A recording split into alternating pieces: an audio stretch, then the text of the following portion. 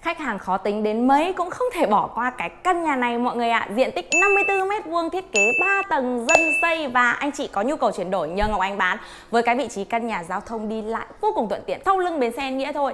Và với cái vị trí căn nhà này ngõ nông cách đường ô tô 50 m, diện tích thì rất rất là hiếm trên kênh của Ngọc anh. Mời mọi người vào khám phá video.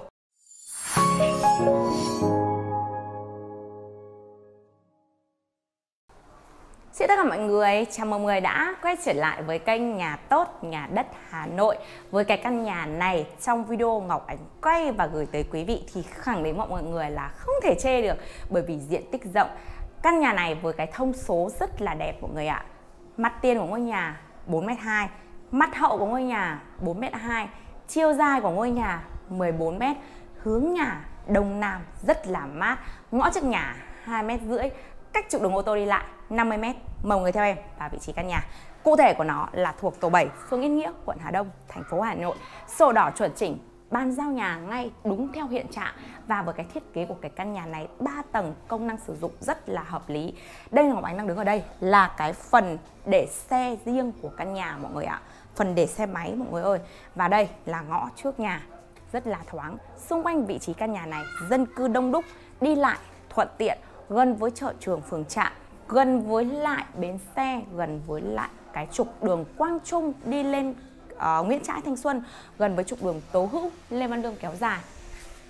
Và với cái thiết kế của cái căn nhà này thì mời mọi người theo em vào cái phần phòng khách tầng 1 của ngôi nhà.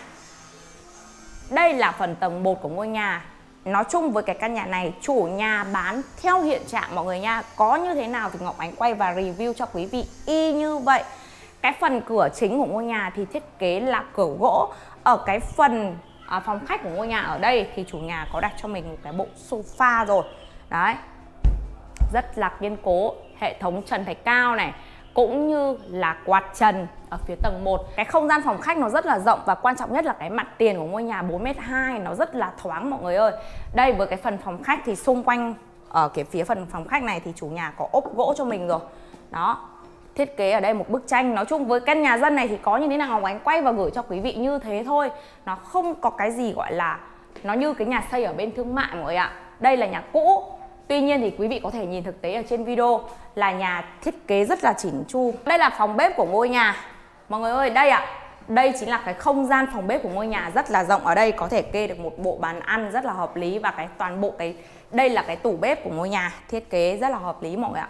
Cái không gian phòng bếp rộng và ở đây thì phòng khách với lại à, phòng bếp ở dưới gầm cầu thang này rất là thoáng có một cái khoảng không. Và nếu như mà mở cửa ra thì rất là hút gió nha mọi người.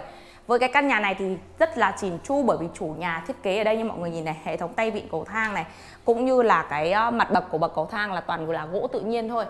Với cái không gian phòng bếp này thì ở cái phía tầng phòng bếp này ở đây là còn một cái khu vực chế biến đó mọi người nha. Đây ạ. à, đây là có một cái ô giếng trời nhỏ nhắn ở cái phía đằng sau lưng, ở phía mặt hậu của ngôi nhà. Đây là một cái khu để chế biến đồ tươi sống và đây là cái phần phòng vệ sinh của ngôi nhà này. Đây, bồn cầu, sen tắm và lavabo. Đó. công năng sử dụng với cái căn nhà này rất là hợp lý. Khoảng sân để xe riêng này, phòng khách này, phòng bếp này, một cái khoảng không ở đằng sau hút gió để có thể chế biến này. Và có cái một phòng vệ sinh nhỏ nhắn này. Với cái căn nhà này đây, mọi người có thể nhìn thấy không? Tất cả tranh ảnh mọi cái là chủ nhà để lại toàn bộ cho mình nha. Và Ngọc Ánh xin mời mọi người theo em lên khám phá tầng 2 tầng 3 của ngôi nhà.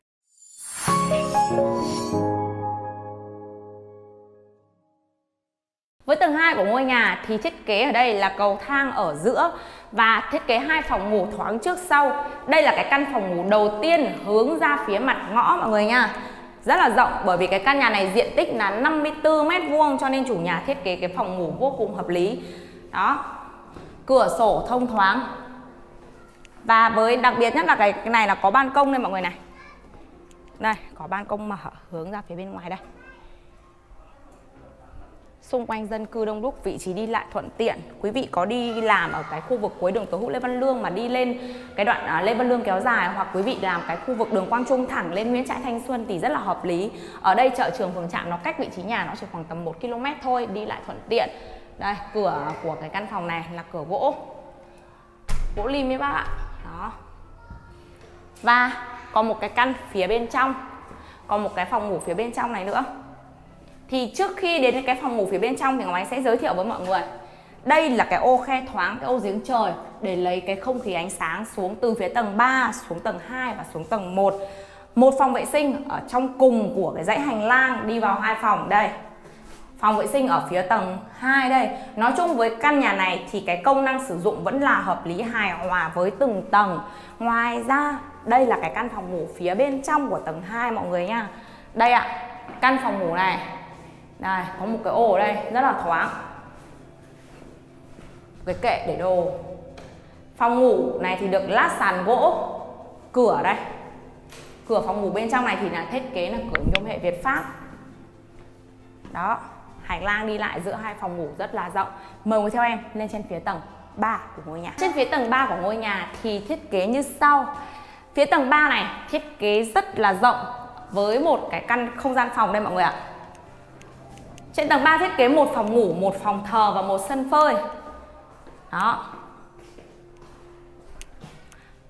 Phía ngoài này là phía sân phơi nha mọi người. Đây, chủ nhà còn để một cái cây ở đây. Trên phía tầng 3 này thì là có mái mái chắn ở đây là mái nhựa. Mọi người có thể thiết kế đây làm sân phơi này. Tiếp theo, ở phía tầng 3 của ngôi nhà là còn một cái căn phòng nữa đây, quý vị, nói chung là quý vị có thể làm phòng thờ, phòng ngủ. Cái này là tùy công năng sử dụng của mỗi hộ gia đình. Và phần còn lại đây. Quý vị có thể phơi ở đây cũng được. Còn ở đây là còn thêm một phòng vệ sinh nữa. Công năng sử dụng quá chuẩn chỉnh với một cái căn nhà 54 m vuông 3 tầng 3 phòng ngủ, phòng khách, phòng bếp để xe riêng biệt và giá chào bán của cái căn nhà này là 3 tỷ 300 triệu đồng, bao toàn bộ phí thuế sang tên, có hỗ trợ vay vốn ngân hàng với quý vị nào có nhu cầu. Mọi người muốn tìm hiểu và biết thêm thông tin cụ thể về cái căn 54m này, hướng nhà Đông Nam này, vị trí là thuộc phường Nhân Nghĩa, ngay sau lưng bến xe thì đừng quên gọi điện cho Ngọc anh theo số điện thoại phía trên màn hình. 0983 0134 03 hóa 0888 041 444 Mọi người xem video của em thì đừng quên nhấn vào nút like để ủng hộ cho em. Đăng ký kênh để có thể là những quý khách hàng đầu tiên cập nhật được những thông tin bất động sản mới nhất từ nhà tốt nhé. Xin chào và hẹn gặp lại mọi người ở những video sau.